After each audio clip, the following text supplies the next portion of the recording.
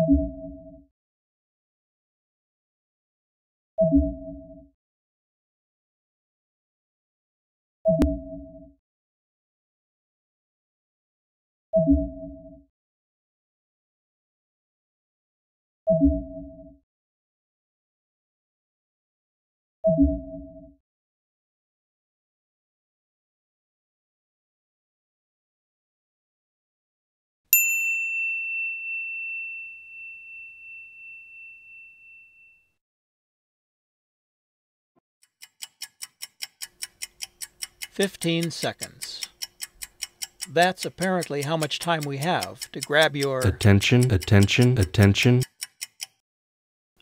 Uh, you still here? Seriously. I guess if you see it on the web, it must be true, right? But wait, it seems that you are smarter than the cynics thought. You're willing to stick around and see what we have to say. Well, we've got some good news about salmon. These boats are finally being used again. Out on the ocean to harvest salmon.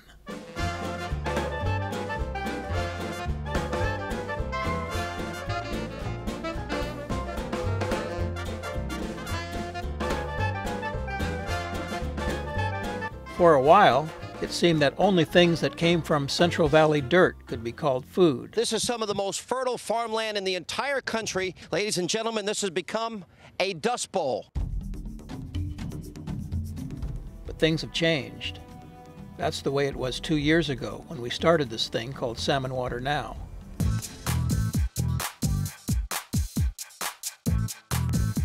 So, as part of a birthday party, we thought we'd use this demarcation point to see how salmon are doing.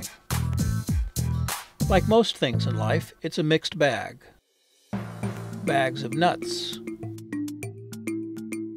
grapes, peppers,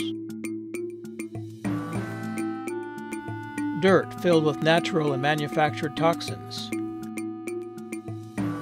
politics and PR, media, and people standing together to say no more to the status quo. It's been a hectic two years.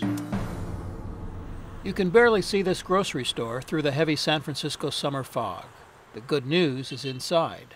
For the first time in three years, you can walk in and buy locally caught wild salmon, caught by the small family owned boats who are also a part of the San Francisco Community Fishing Association. In the two years that we've been at this, the stories impacting salmon have had a huge impact on people.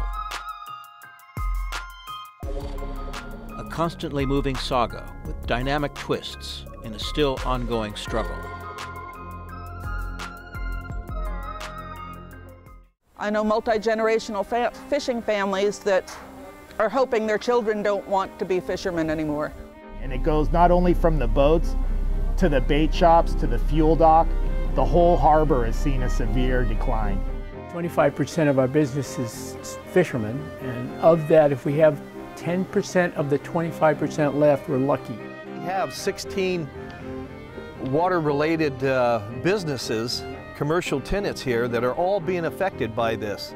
The impact goes further than just some fishermen that aren't fishing. It's the the communities that they live in that, that are suffering you know, a lot.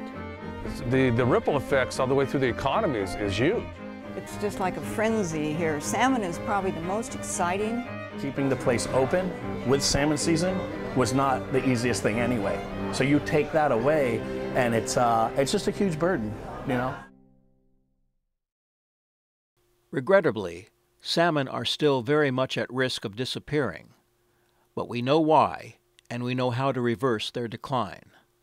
The salmon economy is so real. I mean, it's just right there, right in front of us. You can catch it, you can weigh it, you can sell it, you can eat it. And we know how to sustain the flow of this kind of natural capital. Nature brings these critters back year after year. We know what they need abundant clean water, spawning grounds in the river. These basic provisions have been there and have helped the salmon sustain year after year. So This is the same fish that come underneath the Golden Gate Bridge here. These are the same fish which swim 100 yards offshore from downtown San Francisco. They swim right by my doorstep and up the Sacramento. This is personal. This is not something that's happening someplace else. This is happening to our community, the salmon community. What's happened here is this has created economic disaster. We've lost 23,000 jobs, $2.8 billion in revenue, and probably $200 million in local and state taxes. We know that water diversions that occur at the dams and occur on the rivers and occur in the delta further reduce flows in the rivers and alter their timings. Uh, again, reducing water quality, and in some cases, particularly when you have water diversions that don't have protective fish screens, they can actually remove the fish from the environment, particularly the, the younger fish as they're migrating downstream. What we do have is a severe disconnect. How can we restore the delta, its fish, its rivers and sloughs, by taking away more water? We can't save the delta by diverting it dry. The voices of those who want you to believe that the decline of salmon has not been caused by big agriculture's thirst for increased water pumping are quick to point to other reasons. They'll watch this video and say again that the reasons are pollution in the delta, predator fish, and their favorite, ocean conditions. Anything and everything except water diversions. Water pumping increased by over 16% in the last decade alone, as junior water rights holders who are last in line to get water pushed their way up in the line and seized more salmon water. Record high water diversions in recent years tracks directly with record low recent salmon returns. For too long, our government policies have been misguided by politically motivated junk science instead of the sober, dispassionate, and accurate application of real science.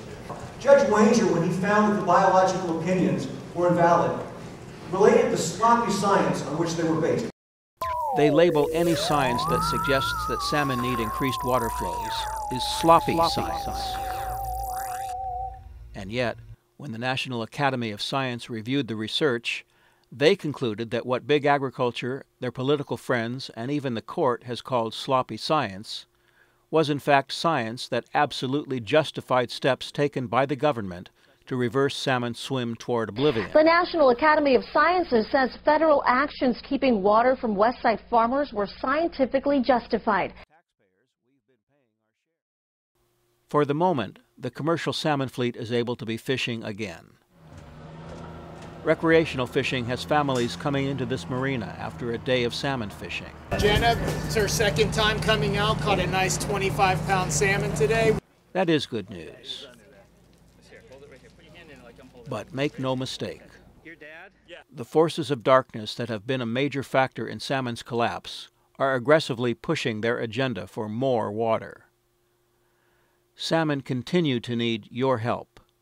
They need you to stay focused and involved, to speak out when politics threatens to trump sound science, to proclaim forcefully that we need. We need salmon water. We, we do need salmon water now. We need salmon water now. We need salmon water now. Salmon water now. We need salmon water now. We do need salmon water what now. What we need is salmon water. Without salmon water now, we have no chance. We need salmon water now. We need salmon water yesterday. Salmon water.